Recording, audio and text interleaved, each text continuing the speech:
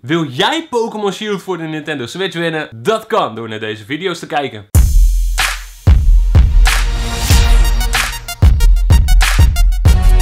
Yo Nintendo fans, super tof dat je weer kijkt naar een gloednieuwe video. En in deze vijfdelige serie kan jij Pokémon Shield winnen voor de Nintendo Switch. Het enige wat je hoeft te doen is mijn vijf video's bekijken waarin ik beschrijvingen van Pokémon in de Pokédex bespreek. En op zoek te gaan naar Pokémon die daar niet thuis horen. Heb ik het bijvoorbeeld straks over Yveltal en zie jij een Pokémon die niet Yveltal is, schrijf hem op. En als jij alle Pokémon hebt gevonden in deze vijf video's, dan zet je een reactie onder de vijfde video waarin je dus al die Pokémon doorgeeft. Als je op de like knop drukt en je hebt mij gevolgd en je hebt alle Pokémon gevonden, dan maak je kans op Pokémon Shield. En dan beginnen we nu aan deel 2 van de meest bizarre Pokémon beschrijvingen in de wereld van Pokémon. We beginnen deze aflevering met een beschrijving van Banette in Pokémon Emerald. An abandoned plush became this Pokémon. Holy crap. Stel je voor dat het hier gebeurt. Dat deze Scyther opeens levend zou zijn. Scyther! Dat zou eigenlijk best wel vet zijn. Maar als dat met een Bannet gebeurt, dan ben je minder blij, denk ik, ja. They are sad to live in garage dumps and wander about in search of the children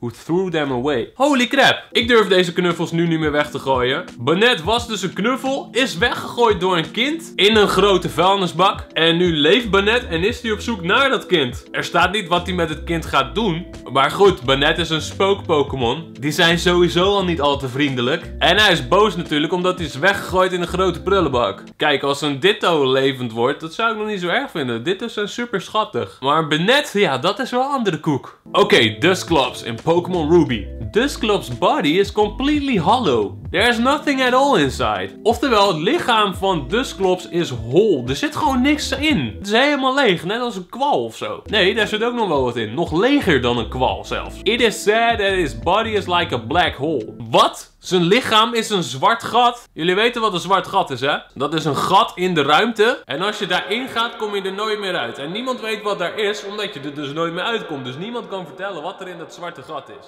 Dat is dus ook zo met Dusclops. We zijn nog niet klaar trouwens, want er staat dus nog meer. This Pokémon will absorb anything into his body, but nothing will ever come back. Dus wat ik al zeg over dat zwarte gat. Hij absorbeert van alles, maar het komt er nooit meer uit. Eigenlijk ook wel handig. Dan kan je gewoon alles eten wat je wil. Forever sushi! 20 pizza's! Komt er toch niet uit. Als je het zo bekijkt zou ik eigenlijk best wel een Dusclops willen zijn. Oké, next. Honedge in Pokémon I. Honedge is een zwaard Besef dat even. If anyone dares to grab its hilt. Oftewel, als iemand hem probeert vast te pakken. It wraps a blue cloth around that person's arm. And drains that person's life completely. Dus oftewel, als je hem wil gebruiken als zwaard. Dan draait hij dat blauwe ding wat aan dat zwaard zit om je arm. En dan ga je gewoon dood. Klaar, makkelijk. Dus beter pak je gewoon een ander zwaard en geen Honedge. Want anders is het gewoon klaar. Maar Pokémon is voor de rest een super blij spelletje hoor.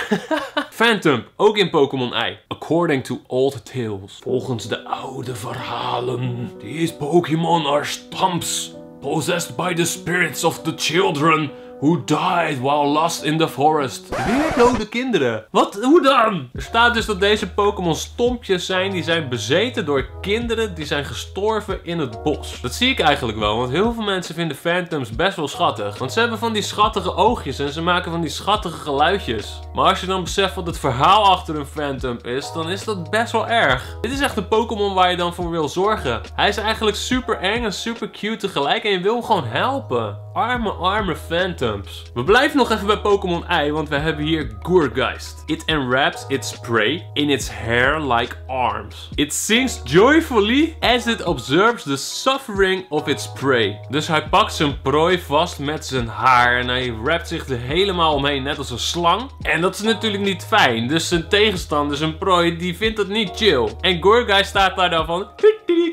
Haha, ik heb het zo naar mijn zin en ik ga eens gewoon even kijken hoe jij pijn hebt. Hoe jij aan het lijden bent. Lalalala. Hey, dat ziet er leuk uit. Kijk, ik ben soms best wel van een beetje leedvermaak. Als er mensen zomaar vallen op straat, gewoon vanuit niks, dan kan ik best wel lachen. Daarna ga ik ze natuurlijk helpen.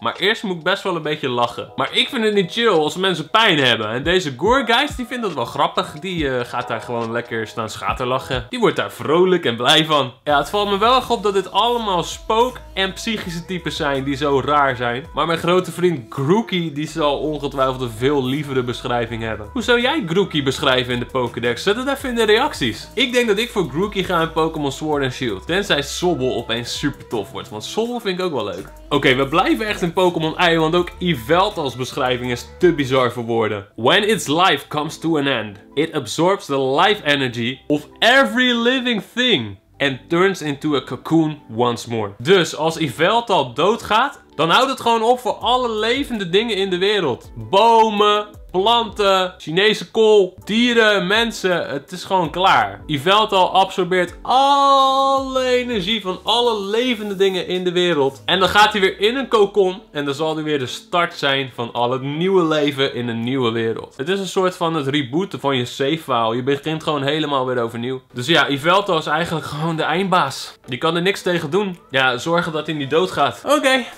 Volgende. Darumaka in Pokémon White. Daruma's droppings are so hot. Bedoelen ze hiermee de drollen van Darumaka? Dat is toch een dropping, letterlijk vertaald? Zou kunnen dat het gewoon zo van zijn arm dropt. Maar volgens mij bedoelen ze gewoon scheten. People used to put them in their clothes to keep themselves warm. Mensen doen dus het poep van Darumaka in hun kleren, want dan blijven ze lekker warm. Ja, en dan hebben ze niet zoiets van...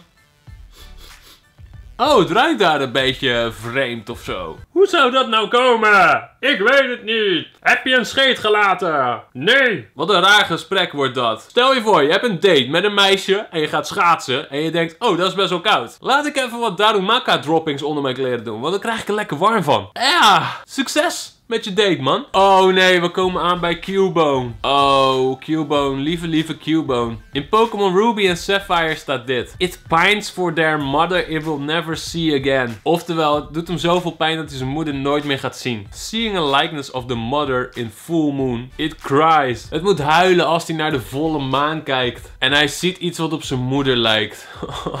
the stain on the skulls it wears are made by the tears it sheds. Dit is zo'n beetje het verdriet verdrietigste verhaal van allemaal. Stukjes van de schedel die Cubone draagt zijn gevormd door alle tranen die hij laat. Omdat hij zo verdrietig is dat zijn moeder is overleden. Ik hoop zo op een Pokémon game die meer van dit soort verhalen laat zien. Waardoor je echt een band krijgt met bepaalde Pokémon. Ik bedoel, Cubone is misschien echt niet zo goed. Maar ik vind het zo'n leuke Pokémon. Ja, of leuk, leuk. Ook wel heel erg zielig. En daardoor krijg je een band met Cubone. Ja, arme Cubone. En dan de laatste beschrijving. Want Pokémon Fire Red zegt ook nog dit over Cubone. It wears the skull of its dead mother on its head. When it becomes lonesome, it cries loudly. Ja, die schedel die hij draagt is dus de schedel van zijn moeder. En hij moet zo hard huilen als Cubone eenzaam wordt. Mijn hart breekt. Ik kan dit niet meer aan. Ik ga er vandoor. Oh ja, vergeet niet, blauw duimpje omhoog. Abonneer op mijn kanaal. En wil je mijn live zien gamen, volg op twitch.tv slash En als jij kans wil maken